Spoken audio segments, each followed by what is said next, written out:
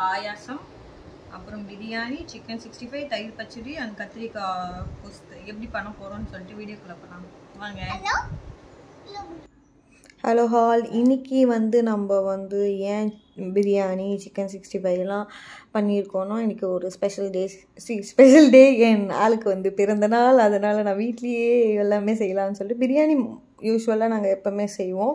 So chicken sixty five வந்து கொஞ்சம் டிஃப்ரெண்ட்டாக பண்ணலான்னு சொல்லிட்டு எப்போவுமே எக்கு மட்டும் ஆட் பண்ண மாட்டேன். இந்த வாட்டி எக் மட்டும் போட்டுங்க. எல்லாம் நார்மலாக போடுறது தான் இஞ்சி பூண்டு பேஸ்ட்டு மிளகா பொடி லெமன் ஜூஸ் அண்ட் வந்து கர்டு தயிர் போடுவாங்க. லாஸ்ட்டாக நான் முட்டையை மட்டும் போட்டு நல்லா ஊற வச்சு ஒரு மூணு ஹவர் கிட்ட ஊற வச்சாச்சு.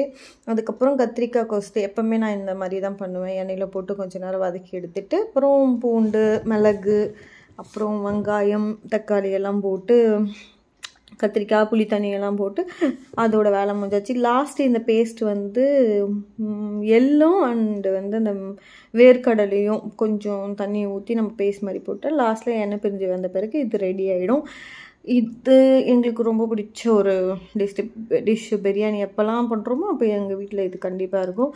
நெக்ஸ்ட்டு நம்ம தலைவர் பிரியாணி கிட்டே போயிடலாம். பிரியாணி வந்து ஸ்டார்ட் பண்ணியாச்சு செய்ய. ஸ்பைசஸ் ப்ளஸ் வந்து ஸ்லைஸ் ஸ்லைஸாக வெட்டின வந்து வெங்காயம் பச்சை மிளகா அப்புறம் இஞ்சி பூண்டு பேஸ்ட் போட்டு நார்மலாக எல்லோரும் செய்கிற மாதிரி தான் பிரியாணி. அப்புறம் கொத்தமல்லி புதினா தக்காளி மிளகா பொடி வெறும் மிளகா தூள் வந்து போட்டிருக்கேன். வேறு எதுவுமே காரத்துக்கு இல்லை. பச்சை மிளகாவும் மிளகாத்தூள் மட்டுமே.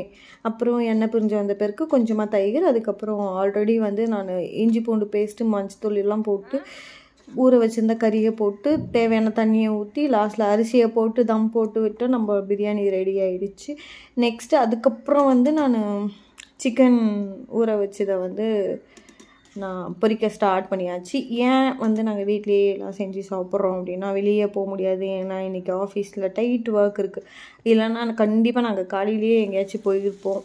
பாப்பா யாருக்கு பர்த்டே அப்படி வீட்டிலனாலும் நாங்கள் வீட்டில் இருக்க மாட்டோம். மோஸ்ட்லி வீட்டில் இருக்க மாட்டோம். ஆனால் இன்றைக்கி என்னுடைய என்ன சொல்கிறதுன்னு தெரியல. பட் வீட்டில் இன்றைக்கும் நான் சமைக்கணுன்ட்டு சரி ஓகே அப்படின்னு சொல்லிட்டு நான் காலையிலேயே ஸ்டார்ட் பண்ணியாச்சு. இது ஃபஸ்ட்டு பேட்ச் வந்து நான் சிக்கன் வந்து பொரித்து நாங்கள் சாப்பிட்டோம். இது வந்து அதுக்கப்புறம் போட்டு போட்டது. அதுக்கப்புறம் இப்போ நம்ம பிளேட்டிங் பண்ணிடலாம். ஃபஸ்ட்டு பிரியாணி வைக்கிறோம். இது நானும் பாப்பாவும் சேர்ந்து சாப்பிட்றது அதனால தான் கொஞ்சம் நிறையவே வைப்பேன். அதுக்கப்புறம் வந்து தயிர் பச்சடி அதை நான் எடுக்கலை.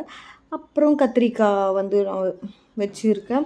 அதுக்கப்புறம் சிக்கன் சிக்ஸ்டி ஃபைவ் அப்புறம் இன்றைக்கி ஸ்பெஷலாக பாயசம் பண்ணியிருக்கேன். அதை நான் ஷூட் பண்ணலாம் ஆல்ரெடி நான் பண்ணி வீடியோ போட்டிருப்பேன். இதெல்லாம் சாப்பிட்டு நான் ரிவ்யூ சொல்லியிருப்பேன். எப்படி இருக்குன்னு பாருங்கள் தொடர்ந்து என்னோடய வீடியோவை நீங்கள் பார்த்து சப்போர்ட் பண்ணி சப்போர்ட் பண்ணுறதுக்கு ரொம்ப தேங்க்ஸ் இதுக்கப்புறம் நான் வீடியோ போடுவேன்னு நினைக்கிறேன். போட்டால் நீங்கள் எல்லோரும் சேர்ந்து எனக்கு சப்போர்ட் பண்ணுங்கள் லாஸ்ட் வரையும் பார்த்துட்டு ஏதாவது நல்லா இருந்துச்சு ஏதாவது நல்லா இல்லை அப்படின்னாலும் நீங்கள் கமெண்ட் பண்ணுங்கள் தேங்க்யூ பாய் ஐயோ நிறைய ஐயோ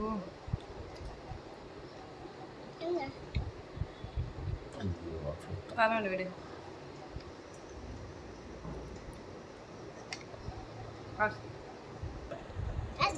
Action first biryani sorry biryani தான் இது பேர் என்ன? சூப்பராக இருக்கும் நினைக்கிறேன்.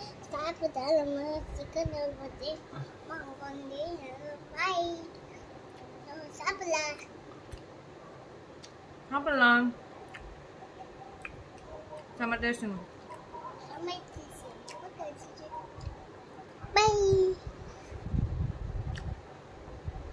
கடலாம் சாப்பிடலாம். அவ்வளோ டேஸ்டாக இருக்கு.